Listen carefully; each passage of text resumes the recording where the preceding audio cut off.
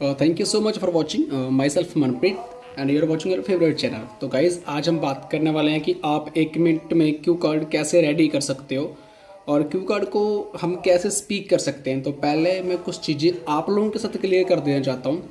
In this channel आपको हमेशा कुछ एवरी डे नए से नई वीडियोज़ ही मिलेंगी जो आपके लिए काफ़ी ज़्यादा हेल्पफुल रहेंगी। बिकॉज़ हमें उन चीज़ों को फॉलो डेफिनेटली करना चाहिए, जो चीज़ें हमारे लिए काफ़ी ज़्यादा फ़ायदेमंद है। फ़र्स्ट ऑफ़ ऑल हम कोशिश कर रहे हैं आपको ऑल ओवर आई के बारे में इंफॉर्मेशन एंड ऑल ओवर जितनी भी इसकी नॉलेज है वो प्रोवाइड करने में। बिकॉज़ अगर हम डेफिनेटली uh, कोशिश करेंगे तो आपका आई एग्ज़ाम क्लियर कर सकते हो। तो पहले ही कुछ चीज़ें क्लियर कर देना चाहता हूँ। हमारे आई एग्ज़ाम में मैं हमेशा बताता हूँ चार मॉड्यूल्स होते हैं। फोर मॉड्यूल्स होते हैं और फोर मॉड्यूल्स में टू मॉड्यूल्स ऐसे होते हैं जिसमें हम नाइन बैंड स्कोर ले सकते हैं। और वो हंड्रेड परसेंट अगर हम उनकी प्रैक्टिस करें एवरी डे प्रैक्टिस करें प्लस अगर उनकी टिप्स एंड ट्रिक्स हमें के ऊपर फोकस करें डेफिनेटली हम उनमें अपना नाइन बैंड स्कोर कवर कर सकते हैं। वो टू मॉड्यूल कैसे हैं, आप भी बहुत अच्छे तरीके से जानते हैं। और वो टू मॉड्यूल्स में ही नियर अबाउट अगर हंड्रेड स्टूडेंट्स एग्ज़ाम दे रहा है तो नाइन्टी स्टूडेंट्स को उन्हीं टू मॉड्यूल्स में सबसे ज़्यादा प्रॉब्लम आती है। फ़र्स्ट ऑफ़ ऑल हम बात करें वो टू मॉड्यूल्स जो उनमें हम नाइन बैंड स्कोर ले सकते हैं, वो है लिसनिंग एंड रीडिंग बच्चे, ये दो ऐसी मॉड्यूल्स हैं जिसमें आप नाइन बैंड स्कोर तक ले सकते हो और यही नाइन बैंड स्कोर हमें काफ़ी ज़्यादा हेल्प करते हैं मेरी फ़ाइल को लगाने में। चाहे हम कनाडा जाना चाहते हैं, चाहे हम यू यूएसए जाना चाहते हैं एनी कंट्री जहाँ पर आपकी विश है, जहाँ पर आपके पेरेंट्स की खुशी है, आपको भेजना, आप वहाँ पर जा सकते हो। बट हमें आई एग्ज़ाम क्लियर करना होगा। अगर आप कनाडा जाना चाहते हो तो सिक्स बैंड है प्लस टू वालों के लिए, और जिन्होंने ग्रेजुएशन की है, उनके लिए six point five band score है। बट ये काफ़ी ज़्यादा टफ है हमारे लिए लेने बिकॉज़ ये काफ़ी ज़्यादा हार्ड वर्क मांगते हैं और ऐसे बच्चों से आज की डेट में मुझे कॉल्स एंड मैसेज ऐसे बच्चों के आ रहे हैं जिन्होंने तीन तीन बार एग्ज़ाम दे दिया है चार चार बार अपने एग्ज़ाम को दिया है। तो मुझे सुनने के बाद काफ़ी मतलब फीलिंग आउट जी लगती है, यार ये क्या हो क्या रहा है? एक्चुअल में कोशिश कर रहे हैं हम आप लोगों की हेल्प करने के लिए, आप लोगों का साथ देने के लिए कि जल्दी जल्द सब कुछ हो जाए। बट मेन टॉपिक है हमारा क्यू कार्ड कि एक मिनट में क्यू कार्ड कैसे रेडी करें? फोर फोर टाइप्स के हमारे क्वेश्चन पूछे जाते हैं। इन द फ़र्स्ट पार्ट में हमें फोर टू फाइव मिनट हमारी फैमिली के ऊपर, हमारी सिटी के ऊपर, हमारी इंडियन कंट्रीज़ के ऊपर प्लस हमारे रिलीजन के ऊपर एंड मेरी पास्ट लाइफ के बारे में, मुझे पार्ट वन में क्वेश्चन पूछे जाते हैं। पार्ट टू किसी के भी रिलेटेड हो सकता है। जहाँ पर जो मैंने किया कि आप कैसे रेडी कर सकते हो पार्ट टू के। और रही पार्ट थर्ड की, वो तो इसी के रिलेटेड ही आपसे पूछा जाएगा। अब मुझे पार्ट टू कैसे रेडी करना है? अब मैं एक्चुअल में पार्ट टू एक मिनट मुझे दिया जाता है। एग्जामिनर मुझे हमेशा कहता है कि जिन्होंने बच्चों ने स्पीकिंग दी है, कि you have a one minute to prepare your cue card so you have a one pen और paper you can write down anything else on it कि आप इसके ऊपर कुछ भी लिख सकते हो, ये आपका पेपर है। अगर आपकी जगह पर मैं हूँ फ़र्स्ट ऑफ़ ऑल आपसे क्लियर कर देना हूँ एग्जामिनर हमारे मोस्टली कॉन्फिडेंस चेकआउट करता है। कॉन्फिडेंस के साथ चेकआउट करने में के बाद जो सबसे मेन थिंग जो हमारी चेकआउट होती है, वो हमारी ग्रामर होती है। बच्चे ग्रामर में नियर अबाउट जो परसेंटेज निकाली जाती है वह twenty five percent twenty five percent मेरा confidence and twenty five percent मेरी ग्रामर ये दो चीज़ें हैं तो कितनी प्लस प्लस कर कितनी बनती है? फिफ्टी परसेंट अगर मैं फिफ्टी परसेंट ये दोनों चीज़ें इंप्रूव कर गया तो मेरे सेवन बैंड स्कोर कहीं भी नहीं गए। सेवन बैंड स्कोर आ सकते हैं मेरे, अगर ये दोनों चीज़ें मैं इंप्रूवमेंट कर गया अपने रियल आई एग्ज़ाम में।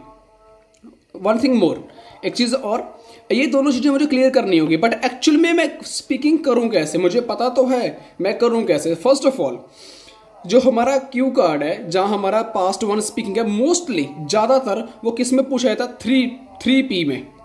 वो हमसे थ्री पी में पूछा जाता है। अब ये थ्री पी कौन से हैं? अगर बात करें इन थ्री पीज के बारे में बच्चे तो ये थ्री पीज हमारे past present pass sorry past simple present simple and future simple ये हमारे तीन है। जो तीनों सिंपल में ही पूछे जाते हैं। अब आपको स्पीकिंग देने से पहले वन टू वन और टू डेज़ हमें इन तीनों के ऊपर ज़्यादा फोकस करना चाहिए तो हमारी स्पीकिंग बहुत बेटर हो सकती है। तो now describe a book you have a recently read अब मुझे ये क्यू कार्ड पूछा गया। एग्जामिनर कहता है you have a one minute to prepare your cue card this is a pen और paper you can write anything on it अब बच्चे बहुत सारे कन्फ्यूज़ होते हैं। अब तो वो पहले डरे होते हैं। डरने के बाद वो और कन्फ्यूज़ हो जाते हैं। अभी एक्चुअली में पूछ क्या लिया गया मेरे से? अब ये तो नहीं पूछा कि नरेंद्र मोदी को गोली मार दो। Right right? तो यहाँ पर क्वेश्चन पूछता है। तो हमें सिंपल उसका जवाब देना है, फिर सिंपल उसका आंसर देना है। फ़र्स्ट ऑफ़ ऑल मुझे कीवर्ड्स फाइंड आउट करना बहुत ज़्यादा ज़रूरी है। इन कीवर्ड्स को रीड आउट करना हद से ज़्यादा ज़रूरी है। वट काइंड ऑफ़ बुक की बुक क्या थी? वट अबाउट किसके बारे में थी? क्या कह रही थी लोगों को? क्या मैसेज दे रही थी? एंड एक्सप्लेन करें। अब अगर ये चीज़ मेरे से पूछी जाती, मैं आपकी जगह पर बैठा था तो मैं कैसे प्रिपेयर करता? तो अगर बात करते हैं अपने क्यू कार्ड्स की तो अगर वहाँ पर मैं फ़र्स्ट ऑफ़ ऑल जब एग्ज़ाम दिया था तो काफ़ी बच्चे फुल लाइन से लिखना स्टार्ट कर देते हैं। मैं आपकी जगह पर हूँ तो मैं सिर्फ़ इन चार प्लस का निशान को यूज़ करूँ। प्लस का निशान यूज़ करूँ, क्यों करूँ? First of all what kind of book it is कि एक्चुअली में बुक है क्या? मैं पहले लोगों के बारे में बताऊँगा, कि लोगों के इंटरेस्ट में बारे में, के बारे में बताऊँगा। These days everyone have a mobile phone कि हर एक बच्चे के पास मोबाइल फ़ोन है। Different people different choice for reading books हर एक इंसान की अपनी अपनी सोच है अपनी अपनी थिंकिंग है कि बुक्स को रीड करना है या नहीं करना। But mostly I also my spend leisure time with read books कि मैं अपना free time leisure time spend करता हूँ या करती हूँ बुक्स को रीड कर कर। तो कौन सी बुक रीड करनी है?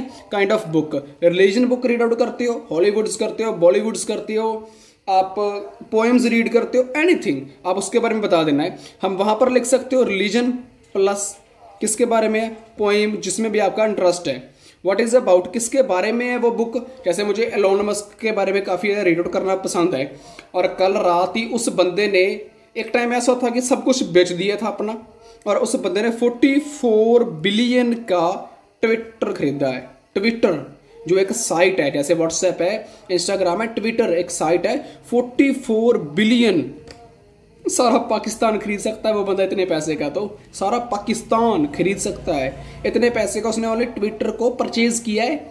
लास्ट नाइट मतलब आज की आज रात की है मे बी सभी सुबह किया उसने कल रात किया है। चलो लीव इट उसके बारे में मुझे पढ़ना बहुत ज़रूरी है। सबसे बड़ी चीज़, वो अनपढ़ है। और उसने जितना भी कुछ आज तक रीड आउट किया है, जितना भी पढ़ा है, बिल्कुल फ्री ऑफ़ कॉस्ट पढ़ा है लाइब्रेरी से। लाइब्रेरी में से पढ़ पढ़ कर उस बंदे ने नासा खड़ी कर दी। नासा के बराबर आज स्पेस एक्स उसके नाम पे चलती है। टेस्ला कंपनी उसके नाम पे चलती है, क्योंकि उसको पढ़ा लिखा नहीं है। अब मुझे उसके बारे में पढ़ना बहुत ज़्यादा पसंद है। तो मैं बुक का नाम क्या है? अलोन मस्क अलोन मस्क किसने लिखी है? क्यों लिखी है? कब लिखी है? किस टाइप की है? उसकी पास्ट लाइफ के बारे में है। क्या मुझे मैसेज दे रही है लोगों को? उसने क्या कुछ क्रिएट किया हुआ है? मैं उसके बारे में बताऊँगा। एंड एक्सप्लेन करूँगा कि मुझे वो बुक पढ़नी क्यों पसंद है, क्योंकि मैं जब भी डीमोटिवेट होता हूँ when I also demotivate from my life then I also read that book because I also getting a lots of motivation and lots of happiness by him जब बाय इट कि उसके द्वारा मुझे उसमें काफ़ी ज़्यादा हैप्पीनेस मिलती है, काफ़ी ज़्यादा खुशी मिलती है उस बुक को पढ़ने में। और उसके बाद मेरे में I also got a hundred percent energy in my body then I do that work what I want कि मैं वो काम करता हूँ, जो मुझे करना चाहिए या जो मुझे करना चाहता हूँ, उसको करता हूँ और मैं अपना एग्ज़ाम का क्लियर करना है, चाहे मुझे लाइफ में कुछ आगे बढ़ना है सेटअप करना है तो मैं उसके पीछे पढ़ जाता हूँ राइट तो then you can clear as exam तो सेम ऐसे मैं अपना क्यू कार्ड रेडी कर सकता हूँ कि जस्ट उसके बारे में बताकर सिर्फ़ उसका मैंने नेम लिखा फ़र्स्ट ऑफ़ ऑल मुझे क्या करना है? फ़र्स्ट ऑफ़ ऑल उसका नेम लिखा, उसके थोड़ा सा पास्ट बाई लाइफ के बारे में लिख जाना थर्ड उसने काम कौन कौन से किए हैं उसके बारे में बताया और एक्सप्लेन किया कि मुझे वो पसंद क्या है।